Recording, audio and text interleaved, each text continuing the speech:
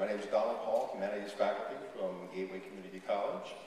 And as we typically do, we have a short pre-show conversation before the film. Today what I'm going to do is talk about the genre a little bit. And if you have any questions, please raise your hand. I may or may not be able to answer. I have some trivia here for you. Hopefully it will be interesting for you. And then we'll go on with the show. And we're going to hear some organ music from the incomparable Ron Rhode. And then following that, I'll talk about the film specifically for a couple of minutes and watch the film. Great. Let's talk about the Western. It's somewhat arbitrary because if you were a settler in Long Island or around Boston a few hundred years ago, the West to you was upstate New York. Maybe Pennsylvania, Ohio, forget it, you're not going that far. The University of Michigan has a fight song. One of the lines in the fight song is Champions of the West. Isn't Chicago west of Michigan? Go blue, yeah, my boys. Hopefully they've got a football coach now. Now, so where is the West? The West typically is west of the Mississippi, more of the mid-southwest area. Uh, tonight we're going to watch a Western. And I really don't like it when people say silence is a, is a genre or a category. Silent films were about one third of all the film history. Film began in 1894. So when you look at what kind of films do you like? Tonight we're watching a Western. Maybe it's horror, maybe it's comedy, maybe it's a romantic film, maybe it's a war film, maybe it's suspense. Those are all categories of films. Those are all genres. And every genre has four stages. The first stage of a genre is called the primitive stage. All right, come on, give them a chance. They're just starting out. They don't really know what they're doing yet. So a primitive example of a Western film would be 1903's The Great Train Robbery. Uh, it was an okay story. They made some mistakes, but give them a chance. The next stage of any genre is called the classical. Hey, they got it down.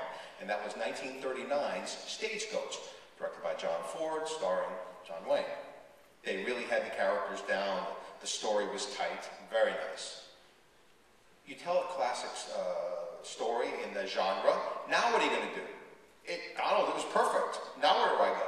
Well, now where you go is that you go to the stage that's called revisionist. You look at it, and you look at it from a different point of view.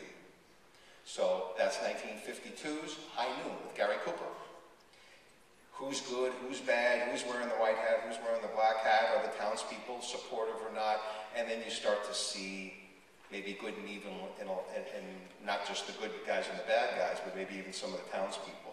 You go to that, and I say, all right, Donald, we, we, it's perfect, we revised it, now what do you do? Well, you know what you do on the fourth stage? That's called parodic, it's a parody. Let's make fun of everybody.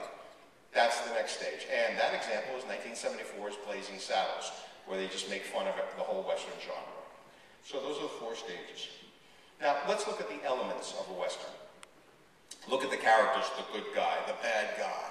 Oh, help me, the stereotypic woman that needs some help, which probably doesn't do too well today. And look at some of even the revisionist Westerns with maybe the strength of uh, Native American woman.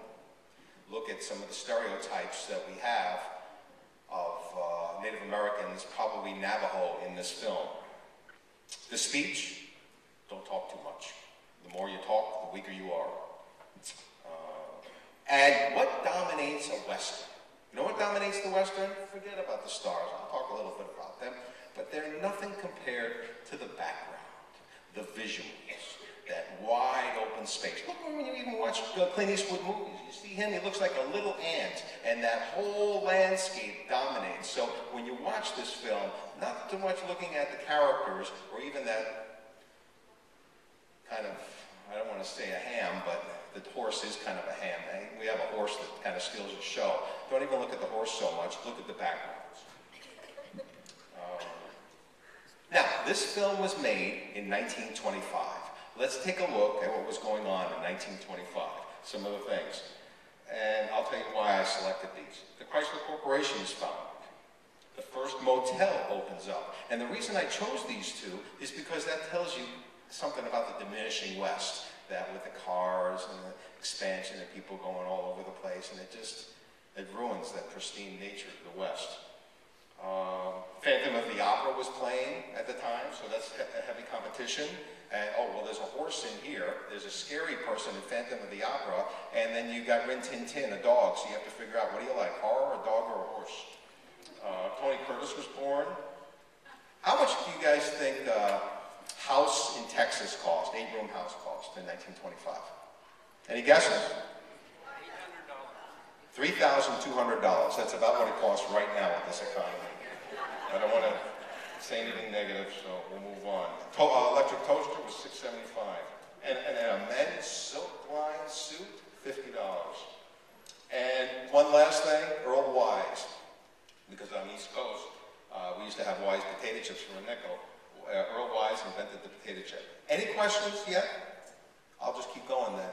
All right, let's talk about Zane Grey. This is a Zane Grey novel that was turned into a film. Let's talk about Zane Grey for a little bit. He was born in Zanesville, Ohio. One of his relatives it was named for.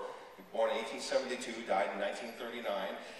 As a kid, he fought a lot, and he got into a lot of fights, so his, his dad whooped him a little bit. Quite a bit, actually. He ended up playing baseball. He got a scholarship to the University of Pennsylvania to play baseball. He ended up becoming a dentist and being a dentist in New York. Finally, he started traveling to the West and hanging out with some cowboys. And they would tell him stories. Plus, he would go west, and sometimes he would go west on some hunting trips. And that's where he got a lot of his ideas. He wrote over 60 books. The very popular Riders of the Purple Sage is one of his most famous. Um, oh, in Payson, we have a Zane Grey cabin. It was unfortunate that in 1992 it burned during the Dude Fire.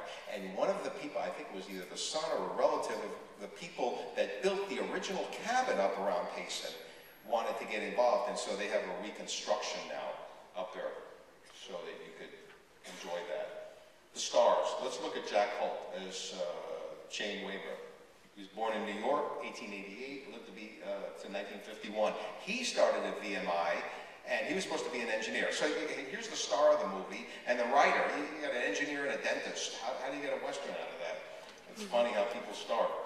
Uh, he became a ranch hand in Oregon, and then he saw in the paper that in San Francisco, hey, they're doing a cowboy movie. They need somebody to jump off a cliff 30 feet with a horse. Anybody, any takers? He took it and he broke two ribs, and the director said, "Yeah, it's not bad. All right, why don't you come back to Hollywood? He said, it's pretty good, the, the money, and that's how he got into uh, films. He enlisted in World War II. Douglas Fairbanks Jr., who was also in this film, was involved with that too. And the, there's so many films, I, I, I can't go through all of them, but the thing that I like about Jack Holt is, again, he transitioned from silence to talkies. A lot of people couldn't make that transition. He was in the film They Were Expendable, uh, a World War II movie. That's one of the movies I like. Uh, he did over 100 movies. His son Tim Holt made the remake of Wild Horse Mesa in 1947. His son also starred with um, Humphrey Bogart in Treasure of the Sierra Madre, and he actually had a, a cameo role in that. Douglas Fairbanks Jr. as his brother, Chess Winger. 1909 to 2000, he acted for about 81 years. Yeah, he was a famous acting family, so he's got his dad, and then his stepmom, Mary Pickford. Uh, and the other thing of note I'd like to mention is that he did marry when he was a kid. He married Joan Crawford, but it was all about her and the movie star, so it didn't last very long. We also have Noah Beery as Bud McPherson. He was 1882 to 1946. You probably don't want to know too much about him. Let's talk about his brother. His brother was so spoiled and rotten, such a brute. It was 1931. 1931 for the champ, they found out, he found out he didn't win the Academy Award. Fredric March did. And he came in and had a temper tantrum in the office, and they said, okay, okay, it's kind of close, so they gave him an Academy Award, and it was, they called it a tie, which was not fair. And his, bro- his brother went ahead and beat up some comic, and I suppose they killed him. And they kind of hushed it up. Uh, played villains, a lot of times he's playing a villain here, and his father was a cop in Kansas City. So there are some things about the film. Any uh, questions? Background, westerns? So I, want to I want to say one thing about the depiction of characters, I know sometimes we have some uh, cinema students here too. Look at this as far as what are the elements. Look at how the women act. And those are stereotypes. Maybe some women act that way, not all women, so you don't want to stereotype. Is she strong? Is she weak? Oh, just stop and I'll marry you. the women at my college, they wouldn't have any of that. That's very strong. All I can do to have any control in my classroom. So that's not. And I actually went to high school on the Navajo Reservation, Chinle High, one year. Think of Brooklyn with a school with a number going to the Navajo Reservation. Amazing uh, change. And my mom worked for the tribe. And I've dealt with, and I've had a lot of, some experience with Navajo women. And you're going to see a woman, uh, a Native American woman in this film. And you look at the stereotypic notion or the strength. I've talked to we made a film with one of my students, and I asked her, she was such a ham, I said, were you Miss Navajo Nation? And she said, no, but my mother was. I said, I knew it was somewhere in there. And let me tell you something about what a real Native American woman uh, is expected to do. When they have the Miss Navajo Nation, you think, oh, it's Miss America, get up there, you're all hot in the bikini. Uh-uh. You're wearing your traditional dress, you have to know all kinds of things, and you get a big knife in your hand, and you have to shear that cheek. So there's some tough women there. So you know how, how the movie depicts those people is not really the truth. One more minute. Okay, so with that, I'm going to go ahead and transition to our organ concert, and then after the organ concert, I'm going to go ahead and say a few words about the film and go from there. Thank you.